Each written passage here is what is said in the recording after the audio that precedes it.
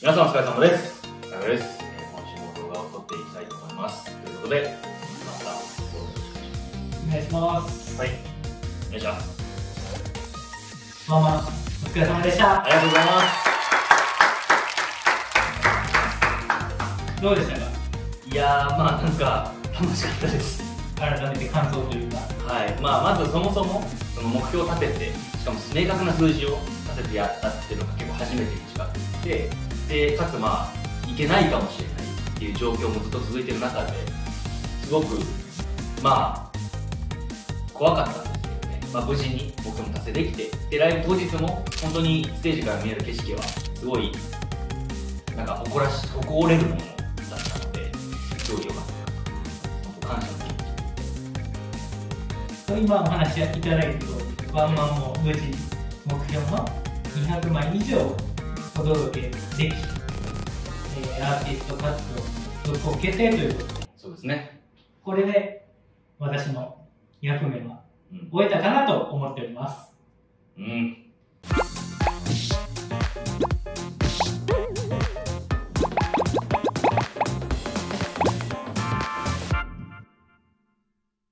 動画をご覧の皆さんには伝わってないかもしれないんですけど可も、能性あるよね。はい。えー、我々がよく言う悪魔の契約というのが、1年ぐらいをめどに、まあ、っていう前提で始まっており、まあ、私はこのチャンネルをね、お手伝いするようになって、ちょっと今、1年経つタイミングであるというのがあるのと、ね。はい。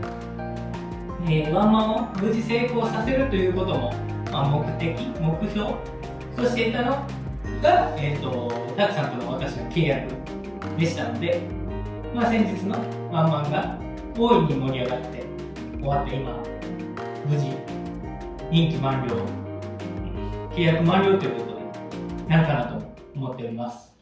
そうですね。何？ありがとうございました。何？いやいやいやいやいや。え？作ったの？はい 契約満了。本日この動画をもって私はタクチャンネルを卒業させていただこうと思っておりますなるほどね。辞表ってこと？はいあ、アーティストさんの、まあ、人生をかけた、うん。まあ、活動に携われるなんてなかなかないことですし、まあまあまあね。まあ本当に今までにない面白い経験をさせていただきありがとうございました。まあ、心残りで言うと、個人的には動画の再生回数が、まあ、1000台をアベレージにできなかったことも悔やまれますし、はいまあ、これに付随して、この1年間で収益化までうん。持っていけなかったのは心残りではあるので、まあ、いずれも私の力不足でしたので、本当申し訳なかったなと思います。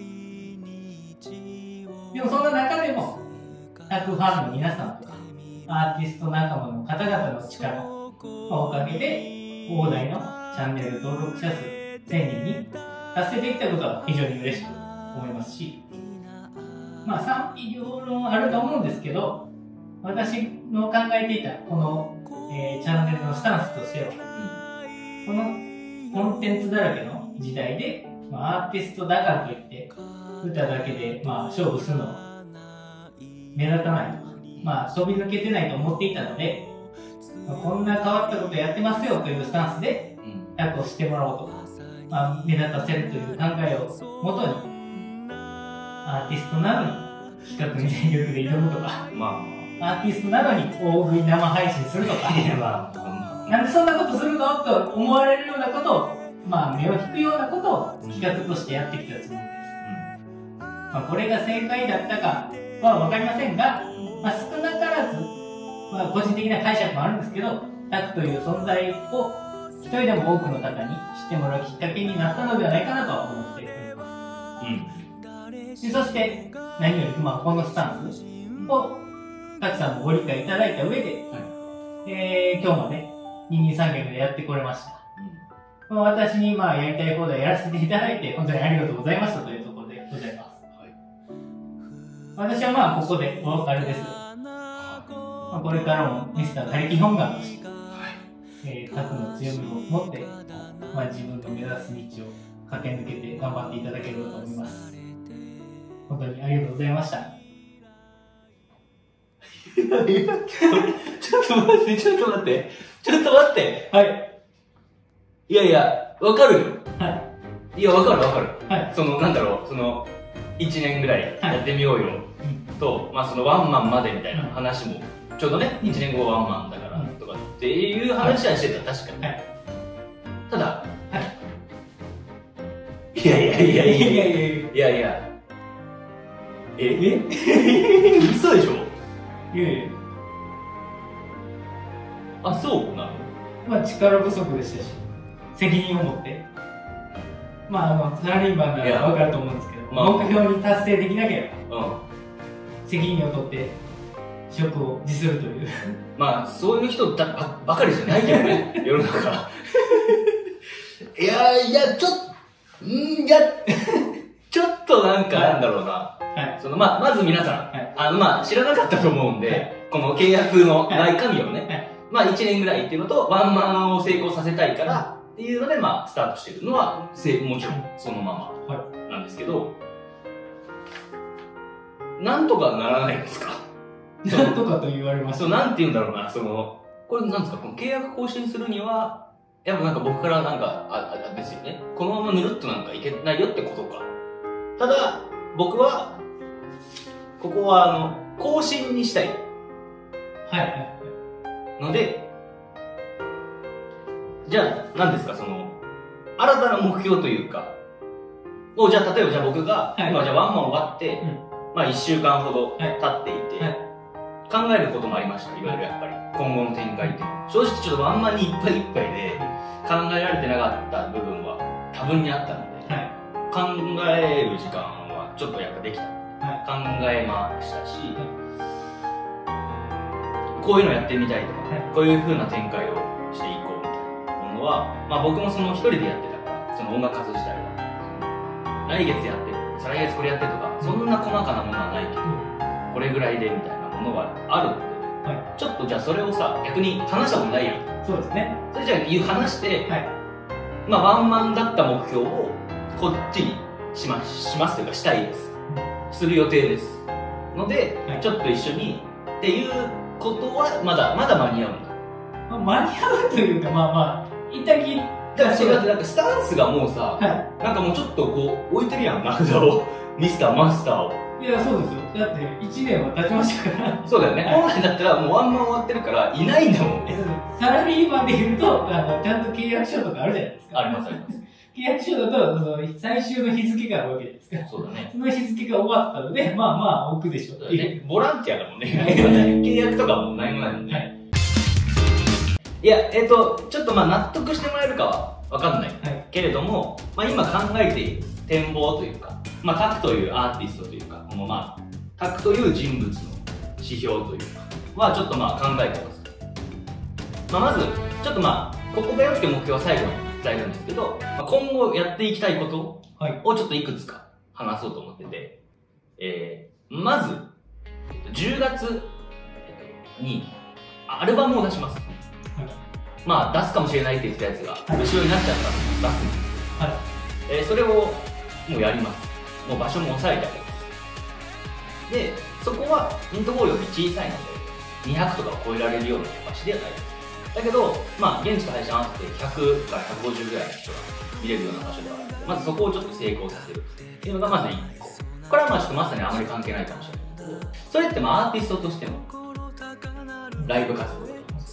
せっかくこうやって YouTube やっていて、まあ、マスターとの掛け合いも、まあ、ファンの人に認知してもらえてるというところもやっぱりあるんで、えー、そのワンマンとは別で、ちょっとやってみたいことが2つあります。はい、1つはですね、ちらっと言ったことあるかもしれないんですけど、えっと、ライブと YouTube を融合させたような、えー、まあ、お客さんも参加型のイベントというか、例えば午前はライブで、午後は本当に YouTube の企画を公開生収録しますみたいな、ちょっとこうエンタメ気質のあるイベントをちょっとやってみたいなっていうのが、これは本当マスターいなければできない、正直。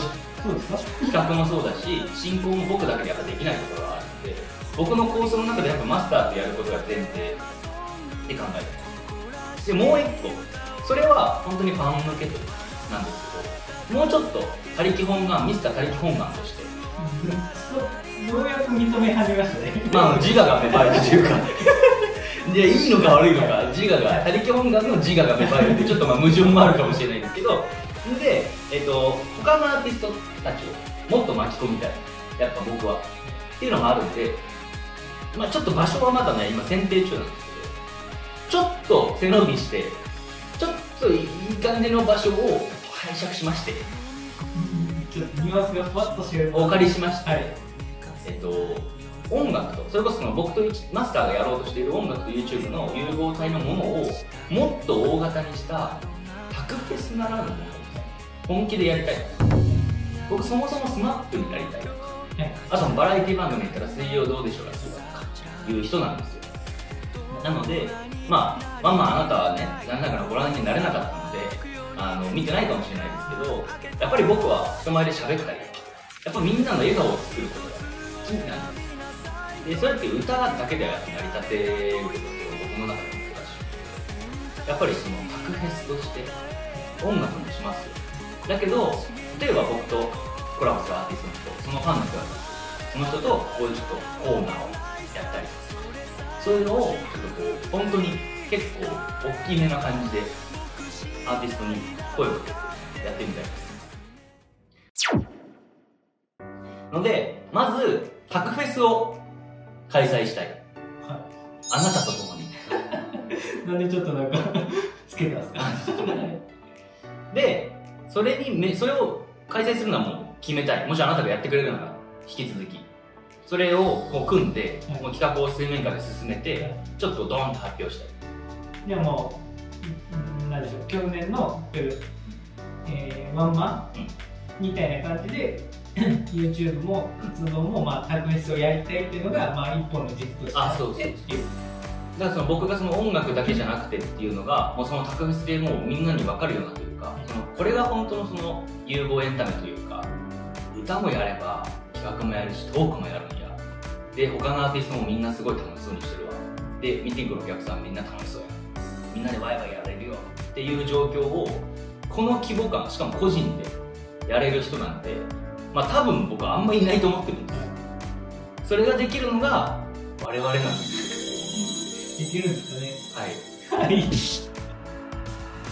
やなんか前も話したんですけど 最終的にタクさんはどこに行きたいその単純に有名になりたいだけなら歌じゃなくてもいいわけじゃないですか。アーティストとして有名になりたいとかとかななんかある？んですか有名じゃないですけどまあこれだと多分そのまあ今言ってたみたいに、まあ、いろんな人と喋ってるところにこう交わるところが、まあ、コラボとか始めてからちょこちょこあっていろんな話がね出てる中で、まあ、僕もだから今はワンマンなんだとか思っちゃってた部分はありますけどこれなんかすごく納得してもらえるかわからない。今のマスターが言ってた言葉の中をパズルして出すなら僕は人として有名になりたいですタクっていう存在は知ってもらいたい知ってもらいたいです。それはどんな手を使ってでもってあの極端なと。変な話で言うとそうですね。だから、うん、ともう動画出てる時にはもう出てるんですけどあのになんかアーティストリーグっていうねあの世間でちょっと話題になっているあの音楽関係者がこう出れるオーディションみたいなやつがあるんですけどシンガー部門とか、えーシンガーソングライター部門とかいろいろあるんですけど僕は、えっとオールジャンルの部門で応募してます。それは歌もやるけど喋りもやるしっていうかサラリーマンだしどのジャンルでもないかもしれないなって思ってて。だからそれを提示するにはだ今の YouTube チャンネルはサラリーマンが企画をやっています。歌をやっています。脱ぐスーツを脱ぐために頑張っています。っていう目的なんだけど別にそれがもっと大きく見ていいかなと思って。だから僕はアーティストスタートだでアーティストとしてその音楽やる歌に意地があるから多分それに対しては多分やめることはないけど有名になる上でじゃあ歌で絶対に有名になりたいのかって言われたら別にそれじゃなくたって有名になってもらってから歌を聴いてもらう手段だっていっぱいあるわけなんで、まあ、みんながタックンは歌なんだって言ってくれるかもしれないけどやっぱそれが多くの人に届かなかったらやっぱ正直意味はない。もうこの年齢になったら。であればもっと本当他力本願って言われてても周りを巻き込む力とか、えー企画力がある人と組んでいろんな企画を押し出していくとかで自分をもっと広めるための活動をしないといけないなと思うんで僕はやっぱ人として有名になりたいなるほど。まあ、今、いきなり聞かされてるんで。だから僕もその何作ってきてくれてんだっていう話 なんかあれですねはい。結論ができなさそうですねまあそうですね、急に。辞めるつもりで今日ここに来たんで、まあそうですよねその選択肢はなかったんで。タクフェスのいや、その、続けるという。ああそうかそそれ作ってますから。そうですよねはい。それで一旦持ち帰らせていただいて、ちょっと考える時間をいただければ。そうだよねまあでもそうなるかなまあまあでもそれはしょうがない。それだって会社でも提案して一発でその場で決まるなんてまれだし一回じゃあ持ち帰って社内で検討します。っていうのがまあ普通の流れだと思うはい。まあ持って帰っていただいてまあもしあのご不明点 ご質問等があればお気軽にお申し付けいただいて。まあだからその上でね、はい。マスターもこればっかりやってるわけじゃないだろうからそれはもうみんなにも言ってることがあるけどやっぱマスターって他のねこともたくさんやってる人だからその中でこの契約というか悪魔の契約あちなみにあれです契約続行の場合はあの僕をおもちゃにして大丈夫なんでそれだけですか、条件で。好き放題やってくださいいやいや、他にも条件ないですから。交通費を出すとか。好き放題特に構成はとか。好き放題やってくださいまあちょっと期限は一回設けないんでそのなんていうのその来週までに返事くださいとかじゃなくても別にいいので、はい一回考えてもらって、はちょっとそうね。だからそっか一人になる可能性あるのか。だよね。はい。だよね。